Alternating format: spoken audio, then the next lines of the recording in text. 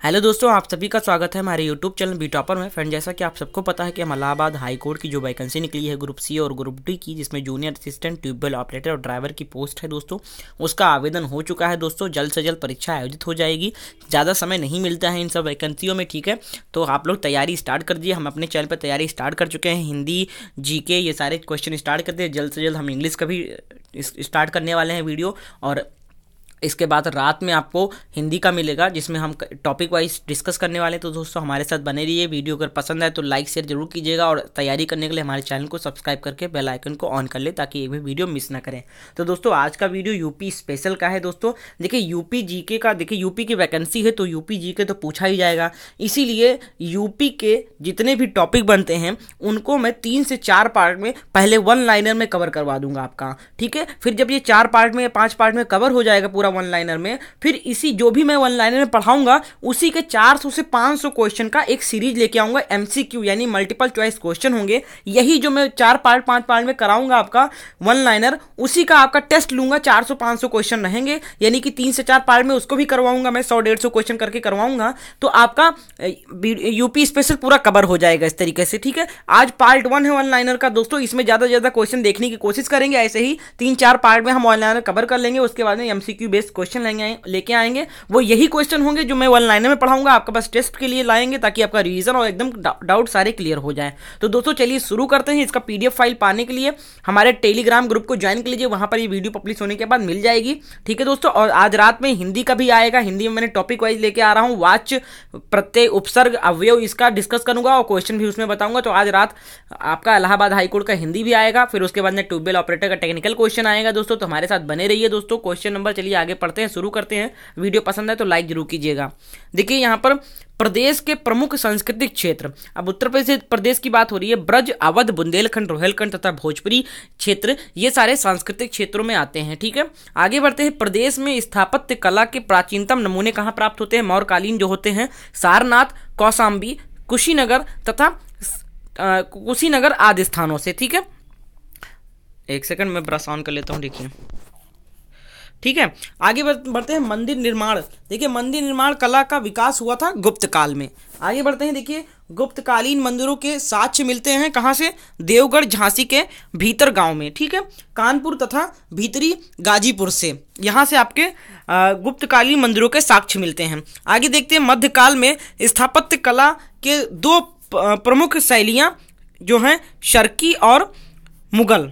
आगरा शैली। ठीक है, यहाँ पे आपको मिलते हैं। आगे देखते हैं मध्यकाल के प्रमुख चित्रकला शैलियाँ कहाँ मिली हैं, जो मुगल के हैं आगरा में, मथुरा, ब्रज क्षेत्र में तथा बुंदेल, बुंदेली शैली में। ठीक है, आगे बढ़ते हैं, देखिए मध्यकाल के प्रमुख संगीतकार कहाँ कौन कौन है? स्वामी हरिदास, कश्यप, शार्दुल, दंतिल, मांतगम, अभिन, अभिनव गुप्त, हरिपाल, अमीर खुसरो, अदारंग, सदारंग, वाजिद अली शाह, तानसेन बेजू, हुसैन, शारकी आदि। ये सारे मध्यकाल के प्रमुख संगीतकार हैं, ठीक है? आगे बढ़ते हैं मुगल चित्रकला।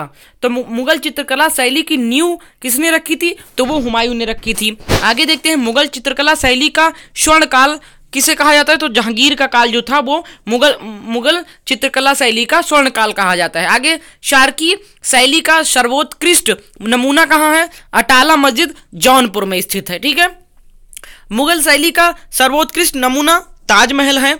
आधुनिक काल में स्थापत्य कला की प्रमुख शैली लखनऊ शैली है। आगे देखते हैं लखनऊ शैली का विशुद्ध नमूना कौन सा है? बड़े इमाम बाड़े का हाल, ठीक है? आगे देखिए, चित्रकला के प्राचीनतम नमूने मिर्जापुर, सोनभद्र, सोनकाढ़ा व लखिनिया दारी मानिकपुर, जोगीमारा, होशंगाबाद, रायगढ़ आदि स्थलों के शैलियों पर एवं गुफाओं में है, ठीक है? आगे बढ़ते हैं, देखिए, काशी नरेश के संरक्षण में विकसित चित्रकला शैली, अपभ्रंश तथा कंपनी शैली के नाम से प्रसिद्ध है। आगे चलते हैं, देखते हैं, आधुनिक चित्रकला की प्रमुख शैलियाँ कौन कौन सी हैं? बास्टेम्पा लखनऊ शैली। आगे देखते हैं, लखनऊ लखनऊ चित्रकला शैली के जनक कौन है? असित कुमार हलदार, ठीक है? फिर ईरानी, फारसी, भारतीय रागों पर का मिश्रण किया, अमीर खुसरो ने। प्रदेश के प्रमुख संगीत घराने आगरा, लखनऊ, वाराणसी, सहारनपुर, ठीक है? प्रदेश के इंपॉर्टेंट है प्रदेश के प्रमुख संगीत घराने कौन कौन से हैं? आगरा घराना, लखनऊ घराना, वाराणसी, सहारनपुर, ठीक है? रामपुर की किराना मुजफ्फरनगर में है, अतरौली, अलीगढ़, खुरजर, खुरजा, अलीगढ़ घराना आदि। ये सारे प्रदेश के प्रमुख संगीत घराने हैं। आगे देखिए, संगीत के उत्कृष्ट सॉरी संगीत के दृष्टि से लखनऊ घराने का स्वर्ण काल वाजिद अली शाह का काल माना जाता है, ठीक है? आगे देखिए, वाजिद अली शाह। वाजिद अली शाह के काल में काफ़ी लोकप्रिय हुआ क्या? ठुमरी। ठुमरी गायिका, आपने नाम सुना होगा। आगे देखिए, वाजिद अला वाजिद अली शाह ठुमरी की वदिशें तैयार की अख्तर पिया उपनाम से वाजिद अली शाह के दरबार में रहते थे कौन? बिंदादीन कथक के, एवं कोदाऊ सिंह पखावाजी के। ठीक है, आगे बढ़ते हैं, देखिए। कथक नृत्य। कथक नृत्य में ठुमरी गायिका का समावेश किया किसने? बिंदा दीन ने। शाहजहांपुर एवं इटावा, गौरीपुर। घराना प्रसिद्ध है कहाँ के लिए? सरदोवाद सरोदा, सरोद वादन के लिए। यहाँ पर पूछ लिया था क्वेश्चन शाहजहांपुर एवं इटावा। घराना प्रसिद्ध है किस लिए? सरोद वादक के लिए ठीक है? सरो, सरो, सरोद वादन के लिए। अजराड़ा मेरठ घराना प्रसिद्ध है। तबला वादन के लिए। तबले के लखनऊ घराने का सूत्रपात किया। मोदू एवं बक्स, बक्सूर खान ने। देखिए, मैं पढ़ रहा हूँ, आपको सिर्फ़ याद दिला रहा हूँ, आपको, आपके माइंड में डाल रहा हूँ, ठीक है, सारी बातें ध्यान से सुनिए, ठीक है, समझने की कोशिश कीजिए, याद करिए इसको, इसके, इस पर बेस क्वेश्चन में लेके आऊँगा, फिर आपको टेस्ट देने हैं, और क्वेश्चन आपके गलत नहीं जाने चाहिए, ज़्यादा से ज़्यादा क्वेश्चन आपको सही करने हैं, दोस्तों तो आप लोग ध्यान से सुनिए जो मैं पढ़ रहा हूँ यहाँ पर, बहुत ही मोस्ट इंपॉर्टेंट क्वेश्चन लेके आए हूँ सारे। देखिए, प्रदेश का एक मास शास्त्रीय नृत्य कौन सा है? कथक। मोस्ट इंपॉर्टेंट क्वेश्चन है ये। आगे चलते हैं, देखिए देखिए, प्रदेश का एकमात्र स्त्री हो इस शास्त्रीय नृत्य है कथक आगे देखिए कथक के लिए प्रसिद्ध घराने हैं लखनऊ और वाराणसी। ये क्वेश्चन आता है अक्सर कि कथक के लिए प्रसिद्ध घराने कौन थे? तो लखनऊ है और वाराणसी कथक के लिए प्रसिद्ध घराने हैं। फिर है कव्वाली, तराना, कौल, कलवाना आदि शैलियों की खोज की अमीर खुसरो ने। ठीक है? अमीर खुसरो, खड़ी बोली के लिए भी काफ़ी जाने जाते हैं। उन्होंने काफ़ी अपना योगदान दिया है खड़ी बोली में। आगे चलते हैं। देखिए, तबला एवं सितार का आविष्कार किया। किसने? अमीर खुसरो ने किया। मंदिरों में संगीतबद्ध अर्चना पद्धति की शुरुआत किसने की? वल्लभाचार्य ने। ठीक है? फिर देखिए, आगे चलते हैं। प्रसिद्ध संगीत संगीतज्ञ, भक्त तथा वृंदावन निधिवन निवासी स्वामी हरिदास की संगीतबद्ध रचनाएँ कौन सी हैं? तो वह श्री, एक सेकंड श्री केलीमाल एवं अष्टदास पद। ठीक है? आगे चलते हैं कृष्ण भक्त। कृष्ण भक्त स्वामी हरिदास प्रसिद्ध हैं ध्रुपद गायन के लिए। ये क्वेश्चन बनता है कि कृष्ण भक्त स्वामी हरिदास किस लिए प्रसिद्ध हैं? तो वो है ध्रुपद गायन के लिए। आगे चलते हैं देखिए तानसेन बैजू गोपाल आदि आठ शिष्य थे किसके? स्वामी हरिदास के। ठीक है? अकबर के दरबारी तानसेन पा, पारंगत थे। राग दीपक एवं वीणा वादन थे। ठीक है? फिर आगे देखते हैं बैजू पा, पारंगत थे किसके? राग मेघ के। फिर देखिए आगे देखते हैं क्या क्वेश्चन है। बड़े ख्याल का प्रवर्तन किया किसने? सुल्तान हुसैन जौनपुर ने ठीक है? फिर 2003 से पूर्व अनुसूचित जाति सॉरी अनुसूचित जनजाति श्रेणी में सूचीबद्ध जनजातियाँ थी कितनी? दो। कौन कौन सी? थारू और बुक्सा। ठीक है, थारू और बुक्सा। आगे चलते हैं, देखिए 2003 में अनुसूचित जनजाति श्रेणी में सूचीबद्ध नई जातियाँ कौन सी थी? दस जातियाँ थी। राज्य में कुल आकाशवाणी केंद्र कितने हैं? तेरह आकाशवाणी केंद्र हैं, उत्तर प्रदेश में टोटल। राज्य में कुल दूरदर्शन केंद्र कितने हैं? तीन दूरदर्शन क्षेत्र, हैं, केंद्र। आगे देखिए, राज्य में टेलीविज़न सेवा की शुरुआत कब हुई? 1975 में लखनऊ से, ठीक है? आगे देखिए, भारत की पहली बोलती film, अलमा, Alam are Alam Ara के निर्देशक कौन थे? देखिए, यहाँ पर दो क्वेश्चन बन जाता है कि भारत के पहली बोलती फ़िल्म तो अक्सर सभी लोगों ने रट रखा है इस चीज़ को। तो ये नहीं अब यहाँ पर पूछ लेते हैं कभी कभी कि इसके निर्देशक कौन थे? तो वो थे बीपी मिश्रा, देवरिया के रहने वाले थे। आगे देखिए, उत्तर प्रदेश चलचित्र निगम की स्थापना कब हुई? 1975 में हुई थी। फ़िल्म बंधु उत्तर प्रदेश का, एवं प्रदेश एवं फ़िल्म विकास परिषद का गठन कब हुआ? 2001 में। आगे देखिए, लखनऊ के महान गायक लखनऊ के महान गायक मियाँ सौरी ने टप्पा गायकी शैली प्रचलित की, जो पंजाब की हरी शैली गायकी पर आधारित है। ठीक है, आगे देखिए, जौनपुर के सुल्तान हुसैन सरकी ने बड़ा ख्याल जैसी नई गायन शैली का आविष्कार किया। आगे देखिए अब देखिए, मैं वन लाइनर करा रहा हूँ ना, ठीक है? एक कहानी के रूप में आप बस सुनते जाइए तो आपको क्वेश्चन बनते जाएँगे, ठीक है? यहीं से क्वेश्चन निकलेंगे और आपको सॉल्व करने हैं उसको आगे चल के, ठीक है?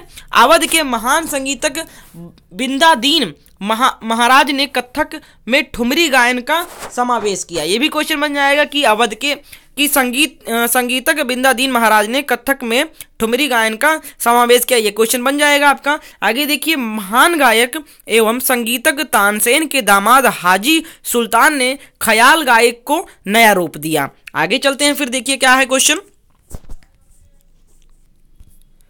देखिए, आगे कह रहा है, एक सेकंड आधुनिक शास्त्रीय गायन का पिता उस्ताद फयाज खान को माना जाता है जिन्हें आफ्ताब ए मौशकी संगीत के शूर उपाधि से सम्मानित किया गया है। ठीक है आगे देखिए नेक्स्ट पॉइंट है रामपुर के संगीतज्ञ बा, बाजीर अली खान ने वीणा वादन में ख्याल पद्धति का प्रयोग करके सैनिया घराना जैसे संगीत घराने को जन्म दिया।